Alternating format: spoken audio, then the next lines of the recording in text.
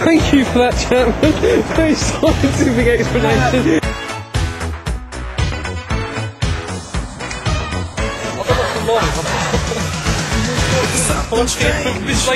in the neighborhood. Who you gonna call? Back. There's something weird,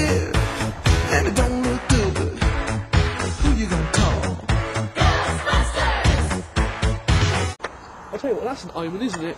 You can see all the stars, but you can't actually see the moon. The stars aren't getting picked up on camera at all. Well, where's the moon?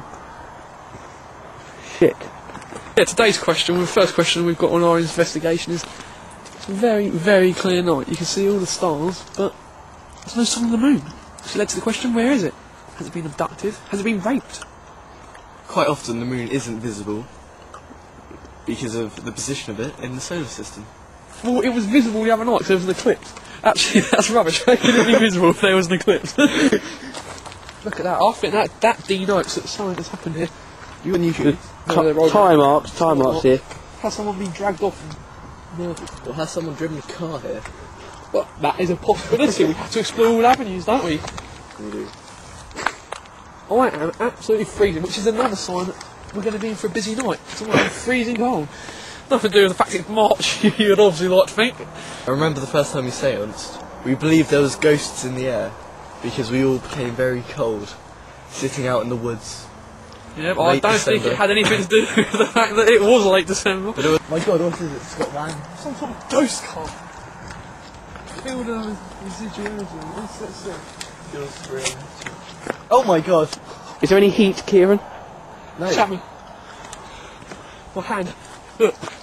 It goes straight through. God, how many years this car has been here? It's cold. Should we check by registration plate? Oh, it's at least 1996. Makes it 11 years this car could have been here. Or more. Oh, If it travelled back in time from the future. oh.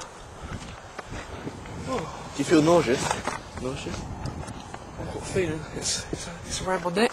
Is it just getting a, a choking feeling? It's sort of up my anus as well. It's, it's pressuring my anus. It's horrible. I can, I can see it screaming like, like I was, I was in a car and someone was putting something very firm up my rectum. Yeah. It may be some form of rolling pin. It seems softer than that, like a, like a sausage. A baguette, perhaps? Maybe. He's getting in pain at all. his name coming through.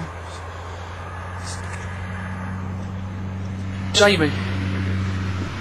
Jamie. Jamie. I need more, Sam. Jamie Farhall. Is... Oh, is...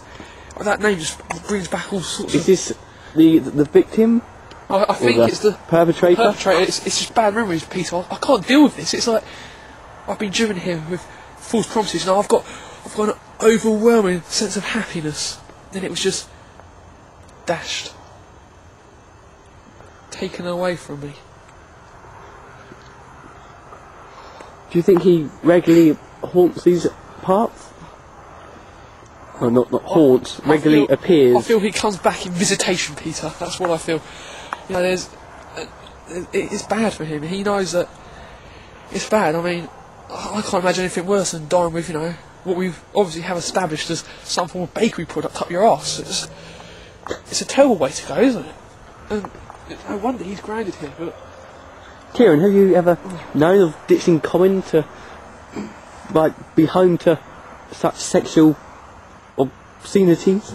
Well, across the grapevine, I have heard various rumours about obscene, absurd, diabolical disasters happening here. Yet, I seem overwhelmingly anxious at the haste of which a spirit has come to us during our first revisit to ghostbusting.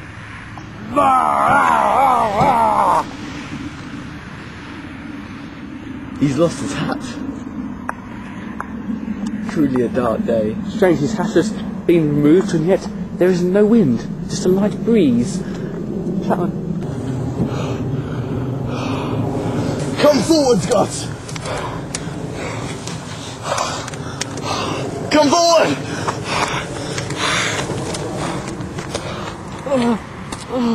Are you back? Are you back in the room? I feel Scott may have had a near-death encounter with a dogging spirit. I'm weak. He's weak. I need more pizza. He needs more pizza. What can be done? that was it to get the pizza out of the car. I think Please tell me there's some pizza left. I think that we have a sign that there's pizza in this car. I have no idea how have known. Oops.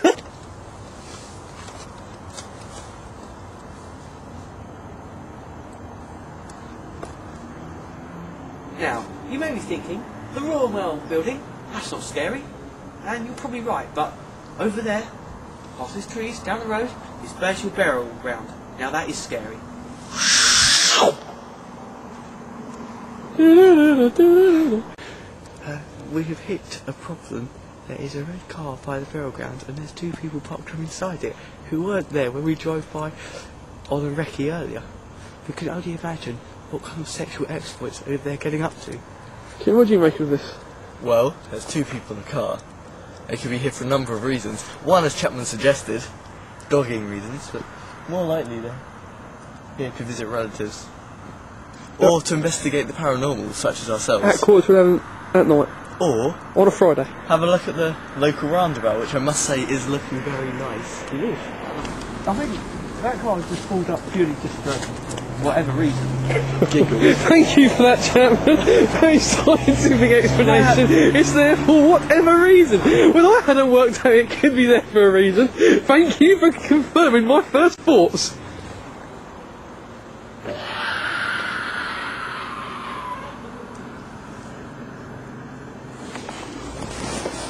I don't know what to do more scared of. Really, that's on the ground. I've also outside the road. So, So, Kieran, where are we heading now? This graveyard, I guess. Peter, would you like to quickly explain what happened? Yeah, In regards to the battery Yeah, situation. it's strange. We entered St Edward's churchyard with approximately I'm gonna have to rush ahead. 34 minutes of battery, and then suddenly it all went out like that. And a spirit touched Scott's head. And it touched your neck as well. Oh yeah, or maybe. I think it's one of you two flids touching my hair, to be honest.